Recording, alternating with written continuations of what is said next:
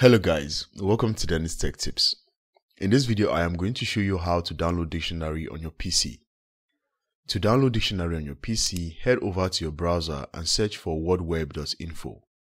WordWeb is an international English dictionary program for Windows, macOS, iOS and Android. It has a free version and a pro version which you have to pay a little token for.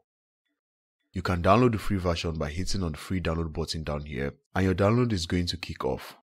When the download is done, click on the exe to begin the installation. But if you want the pro version, you can click on the buy pro button to purchase a plan. After downloading and installing the app, when you open it, you are going to see something like this.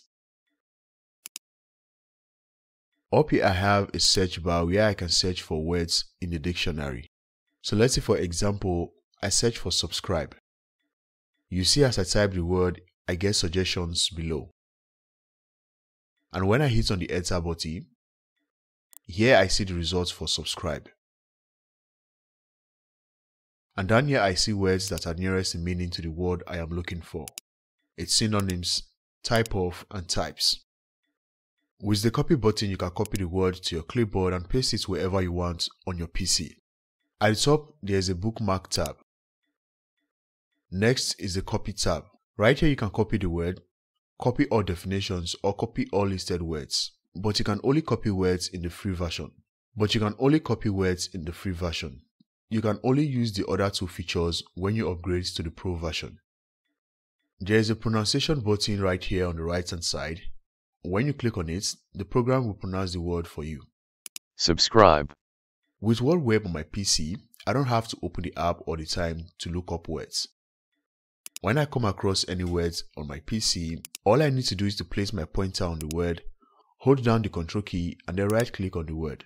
And the dictionary will open automatically, showing me the results of the word. That is that for WordWeb. If you are using Windows, you can download the dictionary from Microsoft Store.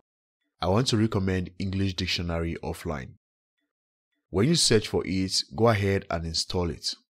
After downloading and installing the app, when you open it, you are going to see something like this. Here you can search for words in the dictionary. The program can read aloud in US and UK English.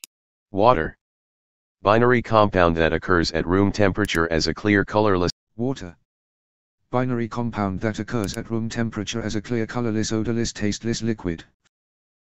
And right here on the right hand side of the screen, you will see the synonyms and antonyms to the words you are looking up. So that is it guys. That is how to download and install dictionaries in your PC.